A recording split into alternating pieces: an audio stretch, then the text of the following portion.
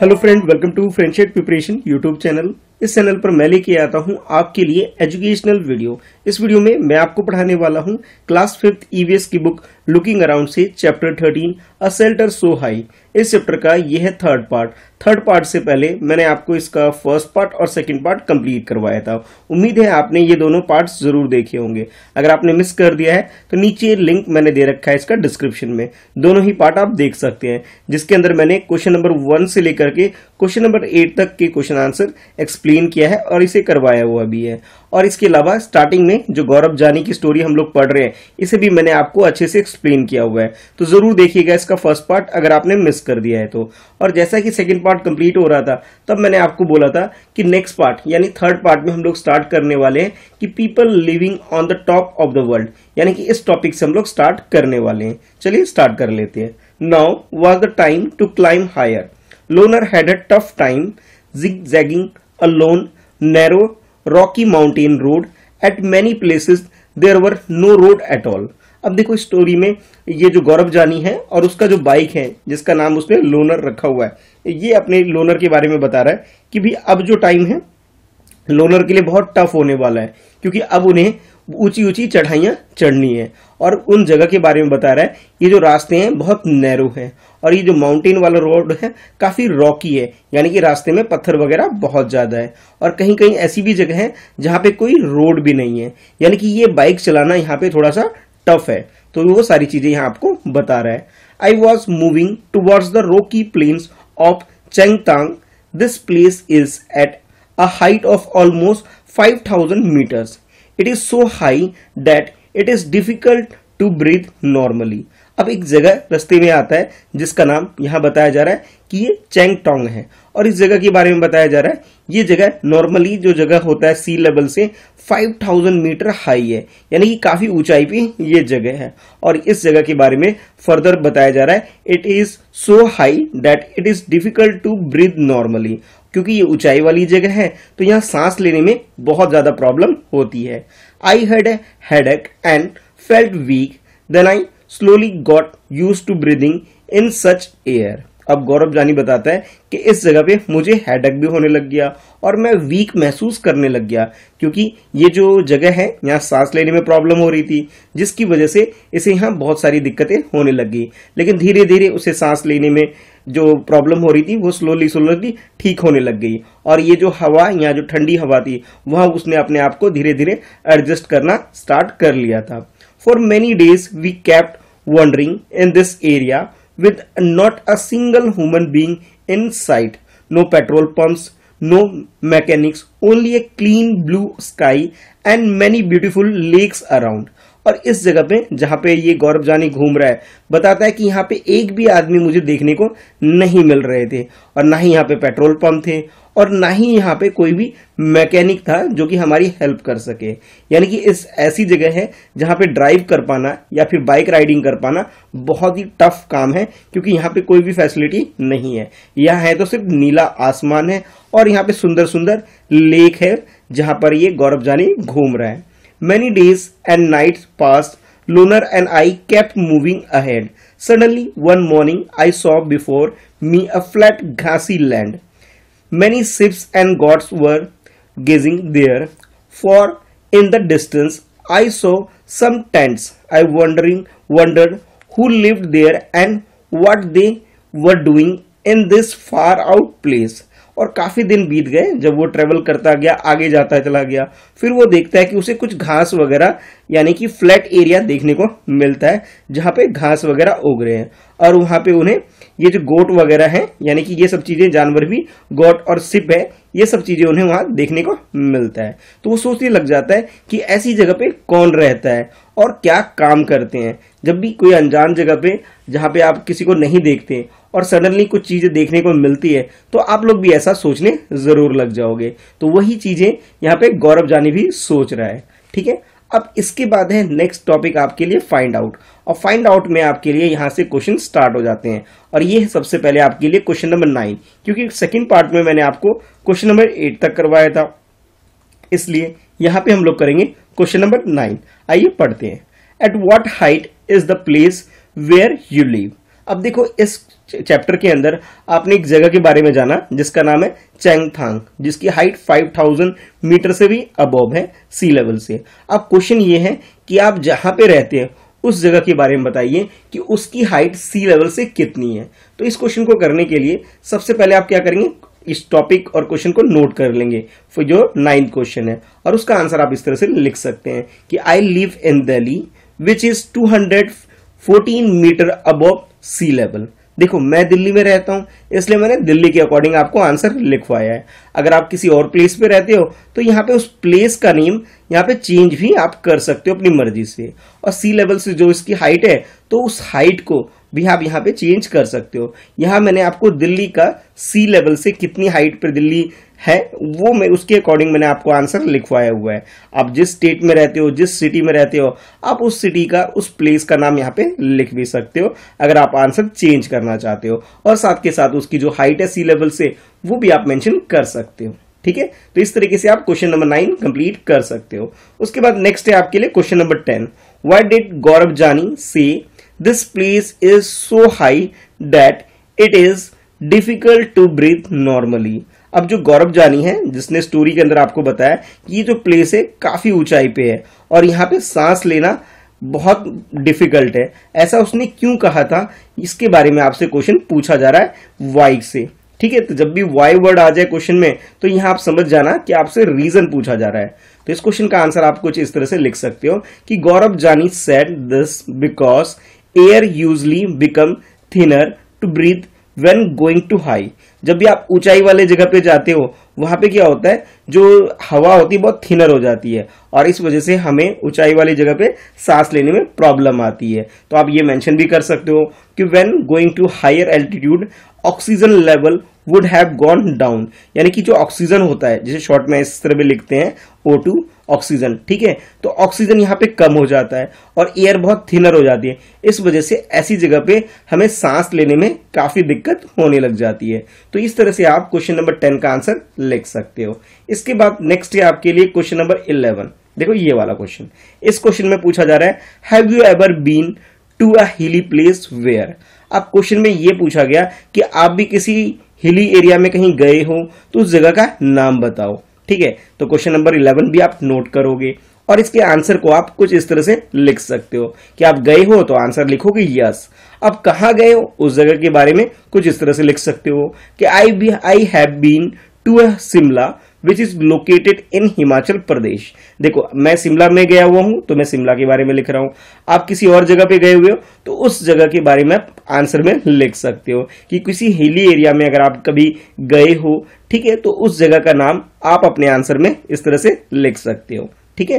तो इस तरह से आप क्वेश्चन नंबर इलेवन का आंसर कंप्लीट कर सकते हो। उसके बाद नेक्स्ट है आपके लिए क्वेश्चन नंबर ट्वेल्व और इस क्वेश्चन में आपसे पूछा जा रहा है at what height was it did you have any difficulty in breathing there जैसे मैं शिमला के बारे में आपको लिखवा रहा हूँ, ठीक है? तो शिमला के अकॉर्डिंग मैं आपको आंसर लिखवाऊँगा। अगर आप किसी और जगह पे गए तो उस जगह के बारे में, यानी उस प्लेस के बारे में यहाँ आपको आंसर में लिखना है कि जब आप इस जगह पे गए थे, क्या आपको भी सांस लेने में कोई प्रॉब्लम आई थी? तो उस प्रॉब्लम के बारे में आपको इस आंसर में लिखना है। तो पहले आप क्वेश्चन नंबर ट्वेल्व के आंसर से पहले क्वेश्चन लिखेंगे और ट्वेल्थ का आंसर कुछ इस तरह से लिख सकते हो। Yes breathing become difficult when I reach at a height of 2276 metre height कि देखो, अब ये जो शिमला है, शिमला की हाइट के अकॉर्डिंग मैं बता रहा हूँ कि इसकी हाइट इतनी है और इस जगह पे जब मैं गया था तो मुझे सांस लेने में थोड़ी बहुत प्रॉब्लम हो रही थी। तो आप इस तरह से अपना आंसर मेंशन कर सकते हो। अगर आप इससे भी ज़्यादा ऊंचाई पे गए हो तो उस जगह की जो हाइट है, उसके अकॉर्डिंग आप अपना आंसर लिख सकते हो। ठीक है? बहुत ईजी सा क्वेश्चन है, ज़्यादा टफ नहीं है भाई। ठीक है? अच्छा इसके बाद नेक्स्ट क्वेश्चन है आपके लिए क्वेश्चन नंबर थर्टीन इस क्वेश्चन में आपसे पूछा जा रहा है which is the highest place you have been to अब देखो, बहुत सारी जगह हो सकता है आप गए होगे, उनमें से उस जगह का नाम आपको यहाँ लिखना है, जहाँ पे आप गए हुए हो, भी हो और वो सबसे ज़्यादा ऊंचाई पर है, जिसकी हाइट सबसे ज़्यादा है। अब शिमला की तो बोले तो 2000 प्लस है, यानी कि 2000 से ज़्यादा इसकी हाइट है। जैसा कि हमने प्रीवियस क्वेश्चन के आंसर में लिखा था कि अराउंड 2276 मीटर हाइट पे है, यानी कि 2000 से थोड़ा ज़्यादा है। तो इस क्वेश्चन में, यानी कि ये जो 13 क्वेश्चन है, इसमें आपको उस जगह के बारे में लिखना है, जो अब तक आप जितनी भी जगह गए हो, सबसे ऊंचाई वाली जगह के बारे में। तो देखो, मैं नॉर्थ ईस्ट में रह के आया हूँ तो नॉर्थ ईस्ट में सिक्किम के में जो है एक जगह है नाथुला पास। तो मैं नाथुला पास गया हूँ। तो मैं अपने आंसर में इस तरह से आपको लिखवा रहा हूँ। The height of place I have been was Nathula pass. और इसकी हाइट कितनी है? वो भी मैंने ब्रैकेट में लिख दिया है कि 4310 मीटर इस हाइट पे ये नाथुला पास है। ठीक है, इसके अलावा अगर आप किसी पहाड़ी एरिया में गए हो या आपका गाँव वगैरह है या आप रह के आए हो तो उस जगह के बारे में अपने आंसर में लिख सकते हो। बेसिकली यहाँ पे क्या करना है, हमें उस जगह के बारे में लिखना है जहाँ पे भी आप गए हो और वो ऊंचाई पर हो। और उसकी हाइट भी आप नीचे से, ये जो भी है इस तरह से लिख सकते हो कि सी लेवल से उसकी हाइट कितनी है। जैसे मैं नाथुला पास की बात करूँ तो 4310 मीटर है। तो इस तरह से जितनी भी हाइट हो, वो आप यहाँ पे बता सकते हो। ठीक है? इतना करने के बाद अब है नेक्स्ट टॉपिक आपके लिए द चंगपा अब ये चंगपा क्या है? एक जगह का नाम है। ठीक है? उसी के बारे में हम लोग यहाँ पे डिटेल में पढ़ेंगे। आओ पढ़ते हैं। देर आई मेट नाम Namgyal and came to know about the Changpa a tribe living in the mountain. अब ये जो गौरव जानवी है, ये आगे एक आदमी से मिलता है, जिसका नाम नाम यान है। ठीक है? और ये जो आदमी है, ये एक जगह, जिसका जगह का नाम है चांगपा, जो कि एक ट्राइब होती है, उस ट्राइब के बारे में बता रहा है कि ये जो ट्राइब है, चांगपा ट्राइब ये लोग क्या करते हैं कि जो माउंटेन वाला एरिया है, ऊंचाई वाला एरिया है, वहाँ पे ये लोग रहते हैं। The Changpa tribe has only about five thousand people यानी ये जो ट्राइब है, इस ट्राइब के बारे में आपको बताया जा रहा है कि इस ट्राइब में सिर्फ़ और सिर्फ़ पाँच हज़ार लोग ही हैं, ठीक है, जो कि हिली एरिया में माउंटेन में रहते हैं। The Changpas are always on the move with their goats and goats and sheep अब इसके बारे में फर्दर बताया जा रहा है। ये जो ट्राइब है, अपने जानवरों के साथ, यानी कि गॉड और सिप के साथ हमेशा मूव करते रहते हैं। यानी कि ये किसी एक जगह पे नहीं रहते हैं, बल्कि एक जगह से दूसरी जगह पे हमेशा शिप और गॉड के साथ ये मूव करते रहते हैं। ये आपको यहाँ बताया जा रहा है। It is so it is from these that they get all that they need जैसे कि milk wheat meat skin for the tent and wool for the coat and sweater यानी कि ये जो जानवर हैं, जो इनकी जो स्किन है, जैसे कि आप यहाँ देख रहे हो, इनकी बॉडी पे जो हेयर है ये इन हेयर को यूज़ करके उनकी जो रिक्वायरमेंट है और पूरी हो जाती है। इन जानवरों से उन्हें दूध पीने को भी मिल जाता है। इनका वो मीट बना के भी खा लेते हैं और इनके स्किन से वो से वो टेंट वगैरह भी बना लेते हैं। और जो स्वेटर एंड सॉल और कोट वगैरह है, ये जो वुल चीज़ें हैं, ये इनके बॉडी पे जो हेयर आ रहे हैं, इनको यूज़ करके ये बना लेते हैं। Their goats are their only treasure यानी ये उनके लिए एक तरह से खजाना है। If a family has more animal it is consider more rich and important यानी कि जिस फैमिली में ज़्यादा जानवर होते हैं उस फैमिली को यहाँ पे रिच कंसीडर कर लिया जाता है। जैसे हम लोग बात करें, जिसके पास पैसा ज़्यादा हो तो हम उसे रिच कंसीडर कर लेते हैं, ठीक है? यानी कि हम लोग पास में, जिसके पास भी मनी ज़्यादा होता है, हम उसे रिच कंसीडर करते हैं। लेकिन माउंटेन वाले एरिया में क्या होता है, जिसके पास एनिमल ज़्यादा होता है, उसे रिच कंसीडर कर लिया जाता है और उसे बहुत इंपॉर्टेंस भी दिया जाता है। जैसा कि यहाँ आपको इस स्टोरी के अंदर बताया जा रहा है। From this special goats they get wool for making the world famous pashmina wool आप लोगों ने पश्मीना सॉल या पश्मीना वुल के बारे में ज़रूर कहीं ना कहीं सुना होगा, जो कि पूरी दुनिया में बहुत फ़ेमस है. The Changpa graze are goat at higher and cooler place cooler place so that they goats have more softer hair they stay high up on these mountain in very difficult condition because that is where these goats can live this is their life and their livelihood यानी ये जो एक तरह से tribe है। ये लोग क्या करते हैं? अपनी लाइवहुड के लिए इस एनिमल के ऊपर पूरा डिपेंडेंट होते हैं। और ये जो एनिमल्स होते हैं, इन्हें ठंडी जगह पसंद है। और ठंडी जगह पे ही इनके जो हेयर है, यानी कि जो बॉडी पे हेयर है, ये अच्छे से ग्रो कर पाते हैं। और जिनसे ये लोग क्या करते हैं, जो भी चीज़ें होती हैं, जैसे वुलन चीज़ें होती हैं, जैसे पश्मीना शॉल पश्मीना स्वेटर ये सारी चीज़ें इनसे बनाते हैं। और पूरी दुनिया में जो इसकी डिमांड होती है, उसे फुलफिल की जाती है। तो गौरव जानी आपको स्टोरी के अंदर ये सारी बातें हम बता रहा है। चलिए अब आगे पढ़ते हैं। अब I was carrying very little of my belongings on my motorcycle और इस मोटरसाइकिल का नाम तो आप जानते ही हैं कि लोनर है। But the Changpas carry everything that they own own on their horse and जो इनके पास सामान होता है चंगपास के पास, ये लोग क्या करते हैं? अपने जो हॉर्स होते हैं और जिनकी याक होते हैं उनके ऊपर अपना ये सामान सारा कैरी करते हैं। अब गौरव जानी तो अपने बाइक पे कैरी कर रहा है। लेकिन ये लोग जो है, जो ट्राइब है, ये लोग क्या करते हैं? जो भी इनके पास एनिमल होता है, उनके ऊपर ये अपना सारा सामान कैरी करते हैं। क्योंकि वो लोग भी हमेशा मूव करते रहते हैं। It takes them only two and a half hour to to pack everything and move ahead यानी इनके पास इस तरह से पैकिंग करके सामान रखते हैं कि उन्हें अगर एक जगह से दूसरी जगह शिफ्ट करना है तो उसे ज़्यादा टाइम नहीं टू एंड हाफ़ आवर ही इन्हें लगते हैं, जिसमें कि अपने सारे सामान को ये सेट कर लेते हैं और उसके बाद वो किसी भी जगह पे मूव कर लेते हैं। Within no time they put up their tents at the chosen place and luggage in unpacked and their homes are ready यानी कि उन्हें अगर कहीं एक जगह से दूसरी जगह पे शिफ्ट करना है तो उन्हें ज़्यादा टाइम नहीं लगता है। और वो लोग क्या करते हैं, बहुत ही कम टाइम में ही अपना सामान सेट कर लेते हैं, पैक कर लेते हैं और फटाफट जहाँ भी वो जाना चाहते हैं, वो आसानी से चले जाते हैं। यानी कि इनका भी कोई फिक्स होम नहीं है। ठीक है, इनका जो लगेज है, उनको वो तुरंत पैक करके किसी भी दूसरी जगह पे तुरंत चले जाते हैं। You are most welcome into our house said Namgyal नाम ज्ञान जो एक आदमी गौरव जानी को मिलता है, वो अपने टेंट में इसे, यानी कि गौरव जानी को बोलता है कि यू आर मोस्ट वेलकम आप हमारे घर में आइए। यानी उनके टेंट में उसे वेलकम करता है। As he led him to his big cone shape tent they call their tent rebo. और ये जो टेंट हाउस होता है, इन ट्राइब का, उसे ये लोग रेबो बोलते हैं। और इस रेबो में, यानी उनके घर में, ये लोग क्या करते हैं, उसे बुलाते हैं और उसे वेलकम करते हैं। Yak skin is woven to make strips where are stitch together. These are strong and warm and protect from from the icy strong winds. यानी कि जहाँ पे ठंडी हवा जो होती है, जो बिल्कुल बर्फीली, ठंडी हवा होती है, उनसे ये जो शॉल वगैरह जो ये बनाते हैं, जो कि बहुत स्ट्रांग होते हैं, उससे ये ये क्या करते हैं, अपने आप को प्रोटेक्ट कर पाते हैं। यानी यहाँ जो ठंड लगती है, ठंडी हवा चलती है, बर्फीली हवा चलती है, उनसे अपने आप को यहाँ वो लोग प्रोटेक्ट कर पाते हैं, इस शॉल से, जो कि वो पश्मीना शॉल जिसे हम लोग बोलते हैं, इससे वो अपने आप को प्रोटेक्ट करते हैं। ये बातें आपको गौरव जानी यहाँ बता रहा है। I was that the strips were tightly and tightly tied with nine sticks. The ground is dug about two feet deep. The tent is then put up around this on the higher part of the ground. अब इसके बारे में बताया जा रहा है जिनका घर है जो कि टेंट के शेप में है ठीक है वो टू फीट डीप ये लोग क्या करते हैं गड्ढा कर लेते हैं और उसके बाद टेंट वगैरह प्रॉपर लगाते हैं और इसके अंदर वो कुछ टाइम के लिए रहते हैं, क्योंकि इनका भी कोई फिक्स जगह नहीं है।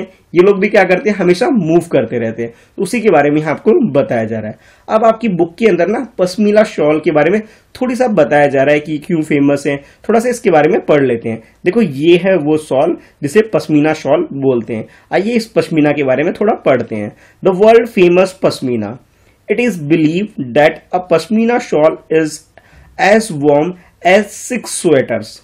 It is very thin yet very warm. The gods from which the soft pashmina wool is collected are found on very high altitude of 5000 meter.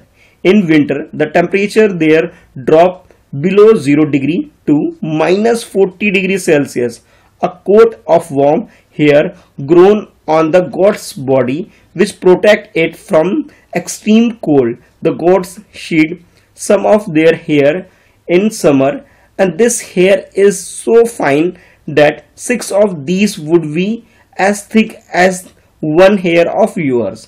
अब इस पश्मीना शॉल के बारे में आपको बताया जा रहा है। ये जो पश्मीना शॉल है, इसके अंदर इतनी गर्मी होती है जितनी की सिक्स स्वेटर के अंदर होती है। अगर आप छह स्वेटर एक बार में पहन लो, इतनी गर्मी इस अकेले शॉल के अंदर होती है। और ये जो पश्मीना शॉल है, ये जिस five thousand metre high altitude पे जो जानवर रहते हैं, ठीक है, उनके हेयर से इसे बनाया जाता है। और इस जगह का टेम्परेचर आपको बताया जा रहा है कि जो कि ज़ीरो डिग्री से माइनस फोर्टी डिग्री सेल्सियस तक हो जाता है। और इस कंडीशन में ही ये गोट वगैरह जो हैं, इनके जो हेयर वगैरह होते हैं, इनकी हेल्प से इसे बनाया जाता है, जो कि इस वार्म एक्सट्रीम कोल्ड वेदर में जो लोग होते हैं, उन्हें प्रोटेक्ट कर पाता है। यानी कि ये एक तरह से बहुत ही गर्म कपड़ा होता है, जिससे कि वहाँ के लोग बनाते हैं और अपने आप को प्रोटेक्ट करते हैं। तो उसी के बारे में आपको बताया जा रहा है। और इसके बारे में फर्दर ये भी बताया जा रहा है, ये जो हेयर होते हैं, जो गॉट वगैरह, जो जानवर वगैरह होते, उनके जो हेयर होते हैं, इतने पतले होते हैं कि जैसे हमारे जो हेयर होते हैं, उससे भी बहुत ज़्यादा फाइन बहुत पतले हेयर होते हैं। इतने पतले कि भाई जैसे सिक्स अगर हम अपने बाल, जो हमारे जो बाल होते हैं, ठीक है उससे भी सिक्स टाइम ऐसे कह सकते हो कि पतले ये हेयर होते हैं। यानी कि नॉर्मली जो हमारे बाल होते हैं, हमारे बाल से भी ज़्यादा पतले होते हैं, लेकिन हमारे बाल बाल वगैरह का इस्तेमाल तो किसी चीज़ के लिए होता नहीं है। लेकिन जो इस एनिमल के जो बाल वगैरह है, इनका इस्तेमाल पश्मीना शॉल को बनाने में हो जाता है। थोड़ा और है, इसे भी पढ़ लेते हैं। The fine hair can not be woven on the machine and so weavers of Kashmir make the shawl by hand This is as long and difficult process.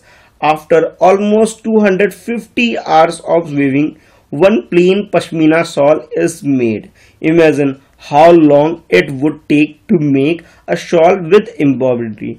अब देखो इस शॉल के बारे में आपको बताया जा रहा है ये जो शॉल है इसे कश्मीर वाला जो एरिया है यानी जो ठंडा एरिया है वहाँ पे बनाया जाता है। लेकिन इसे मशीन वगैरह से नहीं बना सकते। इसलिए जो वीवर्स होते हैं, वो लोग खुद से बनाते हैं मैनुअली अपने हाथ से बनाते हैं। और इस एक सॉल को बनाने में 250 आवर्स लग जाते हैं। और ये जो काम है, काफ़ी लंबा प्रोसेस होता है, बहुत ज़्यादा टाइम लेता है। तो उसी के बारे में बताया जा रहा है कि ये सॉल जो है, एक एम्ब्रॉयडरी जो होता है प्रोसेस उसको कंप्लीट करने वाला ही काम है। यानी कि हाथ से बनाया गया काम है, और इस काम को मशीन से नहीं किया जा सकता है। इस वजह से भी ये जो शॉल है पूरी दुनिया में फ़ेमस है। ठीक है? तो आज आप लोगों ने इस पश्मीना शॉल के बारे में जाना और आप लोगों ने कुछ क्वेश्चन आंसर भी कंप्लीट कर लिए। इसके बाद जो नेक्स्ट टॉपिक है ठीक है, इसके बाद वाला टॉपिक इसे हम करेंगे नेक्स्ट चैप्टर में नेक्स्ट पार्ट के अंदर। चैप्टर तो सेम रहेगा बट पार्ट डिफरेंट हो जाएगा। तो इसे हम करेंगे इसके फोर्थ पार्ट में। ठीक है थर्ड पार्ट में इतना ही फोर्थ पार्ट में मैं आपको यहाँ से स्टार्ट करूँगा। ठीक है वीडियो को लाइक कर दीजिए, ताकि ऐसी और वीडियो मैं आपके लिए लेकर आ सकूँ। और हाँ चैनल फ्रेंडशिप प्रिपरेशन को सब्सक्राइब भी कर लीजिए, और बेल आइकन प्रेस करिए, ताकि जब भी मैं वीडियो डालूं तो आपके पास नोटिफिकेशन रिसीव हो सके। कुछ डाउट है, कुछ पूछना चाहते हो तो आप मुझे इंस्टाग्राम पे फॉलो कर सकते हो। मेरी आईडी है at the rate mister Krishna Shah जहाँ आप मैसेज करके अपने डाउट्स वगैरह मुझसे पूछ सकते हो।